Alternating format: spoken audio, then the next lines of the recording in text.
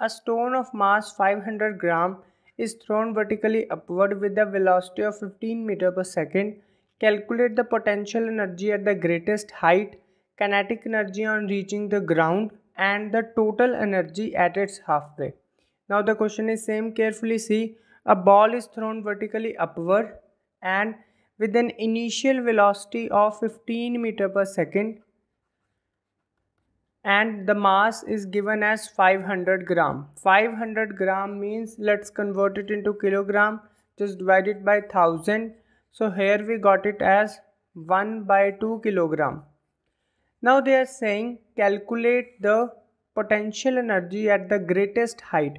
Potential energy at greatest height carefully see kinetic energy at this point is completely converted into potential energy at this point when air friction is zero. It means that kinetic energy is equals to potential energy. Kinetic energy at the lowest point we have half mv square. Here velocity we have to take initial velocity which is 15 meter per second. So this is equals to potential energy at the greatest height so potential energy we got it as half. Mass value we have 1 by 2 and velocity we have 15 square. So this become 1 by 4 into 15 into 15 so when you solve it potential energy value you will got it as 56.25 joule. Okay?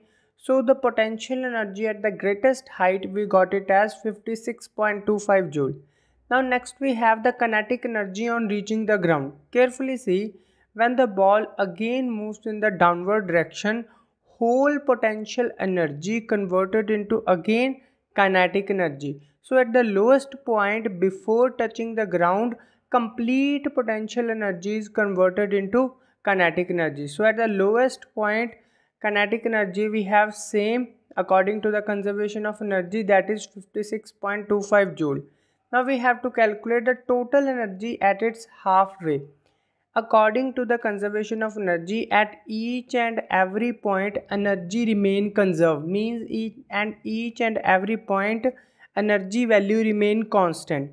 So at the midway we have same energy same value of energy which we have here at the maximum and here at the maximum kinetic. Here we have in the form of potential here we have in the form of kinetic so here is a mixture of kinetic and potential but total energy remains same.